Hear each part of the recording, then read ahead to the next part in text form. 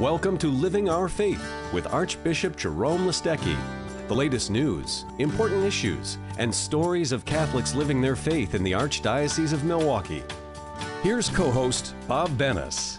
Good morning and welcome to Living Our Faith with Archbishop Jerome Listecki. I'm Bob Bennis, and today we're joined by a man who is a self proclaimed happy priest who answered God's call 40 years ago and has every day since as well as a Catholic singer, songwriter, and recording artist who just also happens to be an interior designer. And we are here. It, it, we just started the. I still have. The, I still kind of have redundancy, isn't it? An interior designer, type. Of, that's what. That's what. That's exactly what a singer, songwriter, poet does. Is it designs designs from the interior? That's uh, that's exactly metaphorically speaking. Metaphorically speaking, of course. I, I, I want to talk about the about the ashes on the forehead because we just we just started the Lenten journey day before yesterday, and it, it's an interesting great, time great of sign. year. Yes, it's great, a, a, great sign. I, um, you know, it's a rarely do we wear our our, our Catholic identity on our sleeves. Mm-hmm. When uh, when it comes to uh, Ash Wednesday, you know that smudge on the top of the head was supposed to be a cross with obviously with the the ashes. But the, oftentimes, if you're like me, you, you can't even do stickmen correctly, so you know it uh, it barely becomes uh, uh, visible. But it's a it's a cross. But everybody knows that you're wearing that um, those ashes as a uh, basically a penitential sign, but a sign of identification with mm-hmm. Christ. You know, you're marked for salvation by that uh, by that cross and it begins uh, the 40 days of Lent. Mm-hmm. You know, mm-hmm. the, the ashes. I um, this last uh, Ash Wednesday, I was at um, a Pius. That's my a- annual event that I go to Pius High School, and I'm there with the kids, and I offer the uh, mass and. I basically offer ashes forehead. to them and smudge their foreheads. Right, It smudge their foreheads. But you, you think about uh, think about what it uh, what a statement it means in our secular world, where we rarely have time for God in almost anything there's all of a sudden people walking around saying they've, they've been marked. Mm-hmm. They've been marked. Now, the, the starkness, I, I love the starkness of it. You know, remember, man, you are dust, and to dust you shall return. I love the starkness of it. But uh, within that is the, the cross which conquers those ashes and conquers that dust and offers salvation. And what I like is I like the look I get from people who don't quite get it because I, I my back my hope is that They'll think about it, it'll either settle in or they'll research it, become interested, maybe even intrigued, and who knows what that brings. Yes, you're right. You're right. And um, it, hopefully it brings the hope um, uh, of salvation in Christ. So.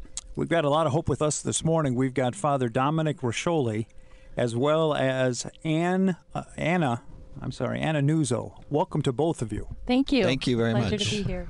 And you know, uh, you know, usually for our listeners, we ask you to to kind of to have you them plug into your uh, your sto- story. So, if we can start with uh, Dom, I ask uh, Father Dom's a longtime friend. Let me, you know, there's certain characteristics that certain people have. You know, certain uh, talents. Sure. Father Dom's a great entrepreneur. He's uh, an ability to be able to see things and uh, and make things kind of attractive, to take the the mundane or the ordinary and kind of offer and pull things together so that uh, people kind of see um, uh, not only religious or uh, or takes it and, and parlays it into you know support for various charities. You know, uh, yeah, but, but Father Dom, how did the vocation, how did the faith come about in your, uh, in your parish? Obviously, uh, Italiano, huh? well, I grew up in Our Lady of Mount Carmel Church in Kenosha, Wisconsin, but I attended uh, St. James Catholic School. And so um, I've been in Catholic schools. I was in Catholic schools all my life, and I had the Sisters of St. Joan Antida at oh, Mount yeah. Carmel, sure, sure. Sinsinawa Dominicans at St. James and just a lot of um, good priests as models. And um, at Mount Carmel, what we have is we have a street procession where we carry the statue of Mary and uh, Jesus through the streets. And of course, I grew up in the 1950s when absolutely everything was a sin, and uh, there was a lot of guilt being thrown at you. But then, as uh, and we were in confession all the time, and but well, then, if, you, if you're sinning all the time, you should be. but every week we were making them up. Anyway, um, but once a year we have the street procession, and I thought, how bad can we be? God's letting the statue of Mary and Jesus go by my house. And then there's a big party in the park, there's a festival. So that kind of balanced it out, which has been Mary's role oftentimes in church history anyway. But um, I'd have to say, uh, growing up Catholic and my schooling had a lot to do with my vocation with vocation, and then uh, the faith of my parents. And, and obviously, a priest of the Archdiocese of Milwaukee. So, where did you go to seminary? Where did you go to? I when I, I went out of eighth grade to St. Francis. To St. Francis. Then, yeah, the first year was on Kinnickinnick Avenue, where Thomas More is now. Oh yeah, sure. sure. That was a that's where we, we were boarders. We we were residents. Uh-huh. And then we came over to DeSales. And then uh, I left one year and went to Loras College because I was interested in becoming a Dominican. Oh, so oh, they wanted good. me to go to Loras. Order of preachers. Yeah. I wonder why now it all fits. But then I came back and uh, stayed the rest of the time in the seminary here at St. Francis. And ordained for the Archdiocese what year? 1974. 74. Yeah. Um, and um, some of the assignments that you had?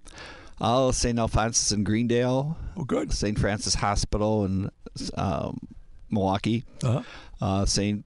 John the Baptist in Plymouth. Uh-huh and then uh, Blessed Sacrament in Milwaukee. Yeah. And then um, many years ago, I got cancer, went into remission, and spent a lot of years doing um, community organizing and fighting for the neighborhood. That's what led me to create products uh-huh. so we could raise money for the inner city neighborhood. Yeah, ter- terrific, terrific. Kind of merging all that uh, your talents together, both the spiritual side and entrepreneurial side, and doing it for the sake of um, uh, the sake of humanity. Wonderful, wonderful. And a, a, lot, a lot of that went back to the street procession because what that street procession taught me was that everything that's in church, all the that goodness and holiness has to come out into the streets, and that was what I heard from that street procession, and so that's what prompted me to you know go after. Um, landlords and drug houses and gang problems uh, in the neighborhood when I came back to the neighborhood. Very important work. Mm-hmm. Very important work down. Anna, how about it? Tell me a little bit of something about your family. Tell me, go back first of all to your Catholic roots, okay? Okay.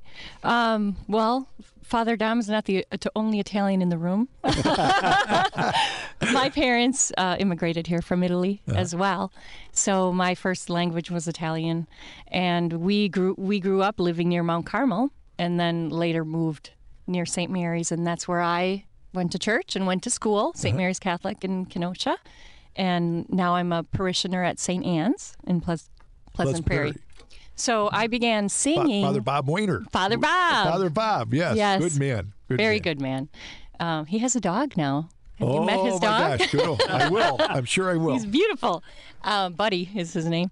So I grew up singing and teaching myself how to play the piano ah. at a young age and started singing at St. Mary's Catholic Church in fourth grade. And then I continued to sing weekly masses, and then in high school began singing for weddings and funerals, and um, college was taking some music courses. Graduated from Parkside, and currently um, cantor at St. Anne's, and I have a band, and we sing for.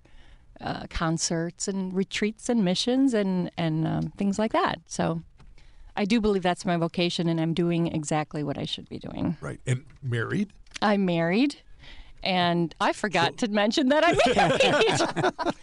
yes, I, did, I didn't forget. Uh, thank you. You're welcome. I'm married to a wonderful man named Michael Nuzzo, and I have two children, two sons that are teenagers, and they go to St. Joseph ah, wonderful, Academy. Wonderful. They go to St. Joseph's Academy. Yes, Great. in Kenosha. Great.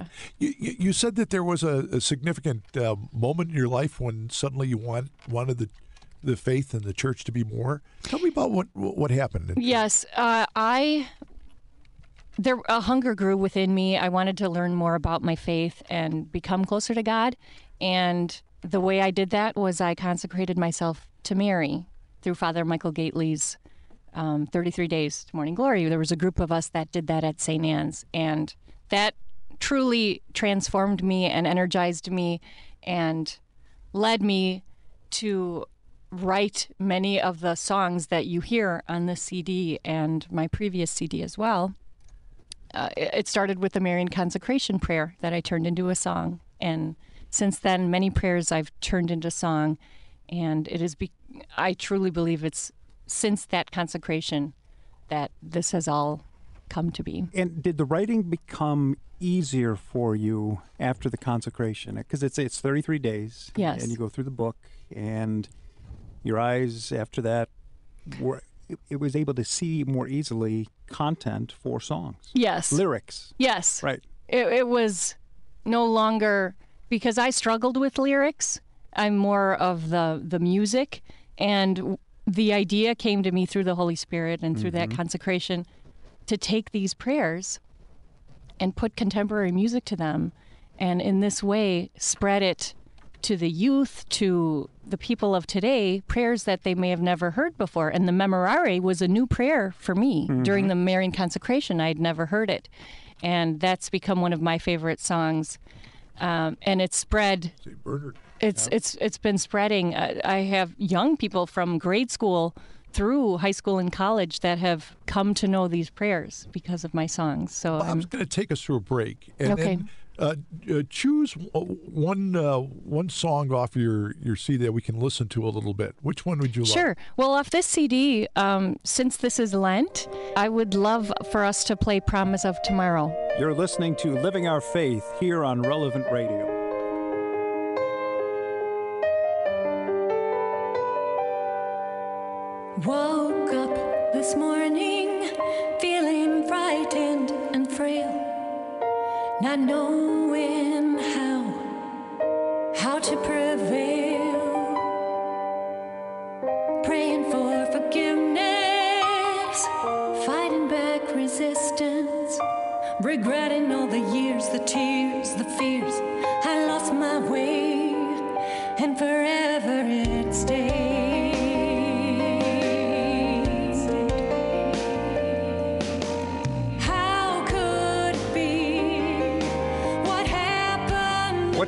Listening to is the voice of Anna Nuzzo. This is Living Our Faith with Archbishop Jerome Listecki. Anna, that's a beautiful song. Thank you very much. You know, one of the things that happens during Lent, and, uh, and, and a wonderful aspect that you're able to take your your whole prayer and spiritual life and and uh, put it to music for people to to share in. Uh, you're inviting them to do that. You're also doing it in terms of um, uh, an aspect that we do during Lent, which are, are retreats.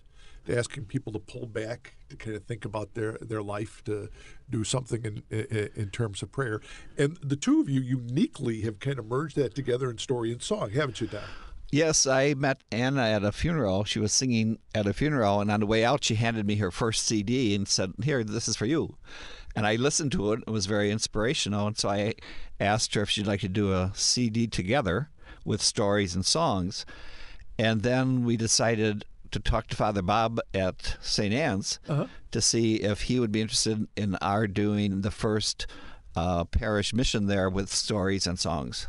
So that's where the idea was born, and uh, we did it there in uh, Advent. Yes. Well, let's get a let's get a little taste of um, uh, of that. Let's do that uh, one cut of, of Michael and Megan, and so um, maybe we can uh, we we can get a, a taste of Father Dom doing stories. We've got Nisa Delmas here, our in studio producer, and Nisa's going to start that now. Once upon a time, uh, Michael came to camp, and so did Megan, and they were seven years old, and they were this tall. Seven year old tall. Every year they came to camp every summer, and um, Michael grew to be six foot two, and now he's a counselor at camp. Megan stayed seven year old size. And she has some kind of strange problem in her system in her body that won't let her grow. But now she's 17 and he he was 17. And it was Megan's um, senior year at high school. They live in two different states, but they know each other very well because they went to the same camp session every summer and became the best of friends. So she lives in Connecticut and he lives in New York. And through the camp grapevine, he found out that Megan was quite upset because she said to her, her mother and father, Who's going to want to take me to the prom? I won't, I'm, I'm a senior one time in my life. I, I won't be going to the prom. Well, through the camp grapevine, Michael found out that Megan wanted to go to the prom, so he calls her up and invites her to the prom. And they went, limo, the whole nine yards, tuxedo, corsage, corsage for her wrists, full long dress, out to eat after. And everyone said, Well, how, how, did, it, how did it work? Because he's so tall and she's so small. And they said, He danced on his knees. He danced on his knees. We know dancing on our knees because many of you have danced on your knees when you were hugging your children when they were little, or tying their shoe, or you've danced on your knees when there was a hospital bed in your living room and someone that you love was dying, and so you were on your knees so you would be at the same level that they are in the bed. So we all know dancing on our knees. And I want to thank you for all the times that you have danced on your knees. May you please continue to do that for the people who need you to do that. He danced on his knees. Father, that's very, very compelling. Now, where did you come up with the inspiration for the the story? Well, I have um, many years experience at Paul Newman's camps for kids with cancer. Uh-huh. So for 19 years, I was in the cabins with the kids, and for the last uh, 28 years, I've been working with the parents.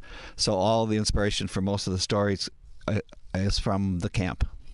Now, Anna, would, uh, doing uh, a retreat with this Father Dom here, I'm sure people came up and said, "Anna, we love you, we love you, but could you drop your partner there for a little bit?" Could?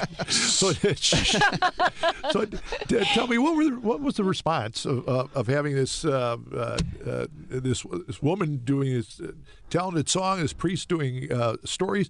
What, what was the response from people? It was actually very, very positive. They enjoyed. Father Dom is pretty famous in Kenosha and Racine, and so a lot of people have heard his stories and come to the event to rehear them again. And my songs are new, and it was neat that we paired particular songs with particular stories. So not only did they have the story told to them, but then the experience became more internalized because the song continued the theme. And I received many comments on how the whole mission was a very deep and fulfilling and inspirational experience. They actually felt it. They felt it in their hearts, they felt it in their souls because not just a song and not just a story, but the combination of the two is what really won over many, many souls. Yeah, I, I love the, the, the title of your song that you that we played for "Promise of Tomorrow." You Mm-hmm. know, how, how did you come up with that one? That's about forgiveness. Um, we all are sinners. We all make mistakes, and it's the promise of reconciliation um, that our Lord forgives us. And tomorrow is another day. And that song was actually written by another Italian friend of mine. Do you have any, sense a anything else but Italian friends? No, I in the do. family. I promise. I do. Uh, her name is Joni Bartucci, and she wrote the lyrics to that song. Beautiful. Um, and I wrote the music, so that's how that. Why don't you tell the Archbishop about the Angel of God song? Oh, the Angel of God song is very dear to me because my son Drake, who's 15, is singing on it. So I'm inspiring. Um, my family to be very involved in music as well, and he sings verse one and verse two on that song, and he also plays piano at home, and my other son plays guitar, and Michael plays the harmonica. Wow, Not family this- affair. not- they're not recorded on this song, this song though, but at home we do that. But my son Drake has a the, beautiful It's voice. the uh, prayer to your guardian angel. Anna had not Oh. grown up with that. Mm-hmm. Really, angel of God, my Yeah. guardian, Guardian dear, dear. to whom God she put it to music. Wow, terrific. Father Dom asked me to put that to music, and that's on the CD as well. And um, a lot of people now know the song and know the prayer. Father Dom, Mm-hmm. in collaboration, when you have to work with someone in terms of music and then you're doing the stories, what what has that done for your own personal life, your own spiritual life? Well, it's made me listen more, and um, also made me realize, you know, I was always doing these parish missions by myself, and you know, it makes me realize it's not about me. It's about getting the message across and about celebrating Jesus. And so then you get a whole new person coming in, doing um, the songs with the stories. It um, just brought me to a deeper spiritual level. Give our audience some idea how often do you go out and perform together? Is it is it periodic? Is it regular? Uh, now I know you're you're you're you're cantering at church on Sundays, uh, but give us some idea. Well, um, I think currently we do more things separate than together. Okay. We're, we're in the process of promoting to do more and more missions together. Mm-hmm. The first one was was in Advent. December. So right. we just released the CD and we just did the first one in December. So we're hoping come spring we'll be booking a lot more events together. But I sing regularly at St. Anne's every week and I sing at Cor Jesu in Milwaukee at St. Um, what is it? Roberts. Robert. St. Roberts in, in Shorewood. St. sure. Roberts Robert and Shorewood. Shorewood. I cannot remember it. Um, Wednesday nights I help out with Cor Jesu there, so I'm singing regularly, um, which I, I greatly enjoy. That's how I pray. And, and was there ever a time where you said, you know, someday I think I'll perform at Carnegie Hall? What was that like? Yes. That was a dream come true. I was approached by contemporary Christian artist John Angotti, and he asked me to sing with him at Carnegie Hall in New York a couple of years ago. And I sang a solo and I sang along uh, with, with a choir as well. So that I can check that off my bucket list, but I hope someday I'll get to do it again. That's amazing. Maybe you and I can do an event out there. I'm game. How about good? how about uh, how about vision? Uh, you know, obviously we're talking through Lent, and people are going a spiritual uh, uh, spiritual journey. Uh, uh, Father Dom, what do you see as a um, you project as a as a vision for uh, for today's uh, Catholic? What what would you uh, call them to do? What would you try to inspire them to do? Well, what we try to inspire them to do with the stories and the songs is to recognize how precious they are, that they were formed and fashioned in their mother's wombs by God's loving hands, that they all have gifts, and that um, it's time to share the gifts. And I think part uh, the the biggest part of the vision is to wa- awaken people to their own goodness and preciousness. How about yourself, Anna? I I agree with that wholeheartedly, and also, it's a call to not only deepen your faith, however that may be, through prayer or book study or going to mass more regularly, but also a call to serve. So it's not like you said, it's not only about us; it's about others. And as we go into our final break, we'll listen to some more of Anna Nuzzo with her latest CD along with Father Roscioli. Uh, the name of the CD is Believe. More information on that CD and the others at annanuzzo.com. And Anna's CDs are also available at iTunes and cdbaby.com. That's the letter C, D, baby.com. And also at area Walgreens stores in Racine and Kenosha. And we'll be right back.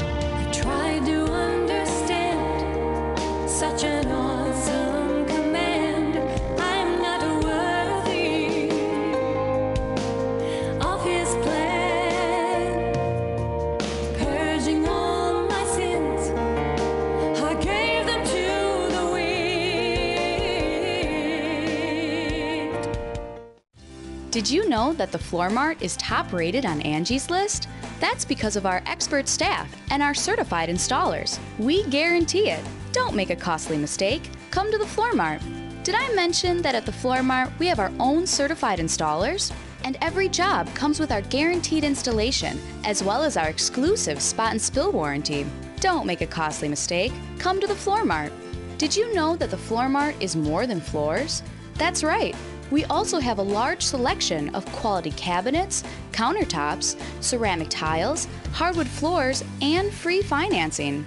Remember, only the Floor Mart guarantees your installation for life. No one else does that. Stop in at the Floor Mart on 124th Street, just north of Burleigh, or visit us on the web at thefloormart.com. Thefloormart.com. Don't make a costly mistake. The Floor Mart, affordable quality guaranteed. Good morning. Wishing you a happy start to the Lenten season, I'm Grace David with headlines from the Catholic Herald and CatholicHerald.org. Six words sparked almost five hours of debate in the Archdiocese of Milwaukee's Chapter 11 reorganization case. A motion to approve proposed insurance settlements started a heated discussion in bankruptcy court last week. Archdiocesan insurers are offering $10.3 million to certain victim survivors in exchange for protection from further claims. Attorneys for victim survivors are against the proposed settlement. Read more on the most recent court proceedings in this week's Catholic Herald and at CatholicHerald.org. Total openness is what Pope Francis is calling for as he shared some words of wisdom with the Church's 20 brand new cardinals last week. At the ceremony, the Holy Father reminded the cardinals that the Church cannot shun our wounded, our sick, and our sinners, and says that serving others is a title of honor. Citing Mark's Gospel, Pope Francis says that Jesus healed a leper without regard for himself or customs, and that the Church must follow the way of Jesus, the way of mercy and reinstatement. Read more in this week's Catholic Herald. A man exiting a bus alone, with no shoes and no socks, during Holy Week. It's a vivid memory for Deacon Don Borkowski, who helped this needy stranger at Father Gene's Help Center in West Allis. The center, founded more than 40 years ago, shares clothing with Milwaukee's homeless and needy residents. Borkowski says he washed the man's feet and gave him shoes and socks. Then, this act of kindness evolved into an annual shoe drive called Share a Pair. Sponsored by Stan's Fit for Your Feet, the company partners with community volunteers for gently used shoe donations. The company says it has collected almost 200,000 shoes in eight years. Share a Pair continues through the month of February, with drop off locations in Bayshore, Brookfield, and Greenfield. Whether donating clothes and shoes or your time and talents, Lent is a wonderful season to share with others. For more seasonal ideas, visit archmil.org and catholicherald.org. I'm Grace David, sending you back to Living Our Faith with Archbishop Listecki. Did you know that the Floor Mart is top rated on Angie's List? That's because of our expert staff and our certified installers. We guarantee it. Don't make a costly mistake. Come to the Floor Mart. Did I mention that at the Floor Mart we have our own certified installers? And every job comes with our guaranteed installation, as well as our exclusive spot and spill warranty. Don't make a costly mistake. Come to the Floor Mart. Did you know that the Floor Mart is more than floors? That's right. We also have a large selection of quality cabinets, countertops, ceramic tiles, hardwood floors, and free financing. Remember, only the Floor Mart guarantees your installation for life. No one else does that. Stop in at the Floor Mart on 124th Street, just north of Burleigh, or visit us on the web at thefloormart.com. Thefloormart.com. Don't make a costly mistake. The Floor Mart, affordable quality guaranteed. Well, just like that, the half hour has come and gone as they always seem to do. And I'd like to thank our guests today, Anna Nuzzo and Father Dominic Roscioli. You can reach both of them linked to their websites through the archmil.org website. So you make sure you want to do that if, uh, if uh, you want to pursue information on both the fundraising items as well as the music. And Archbishop, if you would be so kind as to close us with prayer. I would be happy to. And uh, this is the prayer for the mission of the Archdiocese of Milwaukee. And uh, in Lent, during Lent, we're on a mission. And um, the mission is to draw us closer to Christ, and that's the whole aspect of the synod that we've just gone through. So, in the name of the Father, and of the Son, and of the Holy Spirit, Almighty and ever living God, we praise you, we bless you, for you are great indeed. Grant, we pray, as on that first Pentecost, that tongues of fire may descend upon us, and that the driving wind of your Holy Spirit may blow boldly into our hearts. Loving God, we ask you, make us effective and holy witnesses of the death and resurrection of your Son, Jesus Christ. Increase our faith through the sacramental life of the Church. Grant us courage to follow you as faithful disciples. Embolden us, O God, so that we may go forth to proclaim your gospel and renew the face of the earth. In this Archdiocese of Milwaukee, we humbly pray for strength and fortitude to follow your great commission, to go and make disciples of all people, living our faith through word and deed. Through the intercession of St. John, the evangelist, patron of the Archdiocese, and Mary, Mother of the Church, we ask all this through Christ our Lord. Amen. Amen. And may the blessings of Almighty God, the Father, the Son, and the Holy Spirit descend upon us and remain with us forever. Amen. Amen. Archbishop, thank you. Anna, Father, thank you. To our listeners, thank you. Encore airings of this program tomorrow morning at 9:30 and then again Sunday at 9:30. I'm Bob Bennis. Thanks for listening and remember to walk with Christ. This has been Living Our Faith with Archbishop Jerome Listecki and co-host Bob Bennis. Join us again next week for the latest news, important issues, and stories of Catholics living their faith in the Archdiocese of Milwaukee.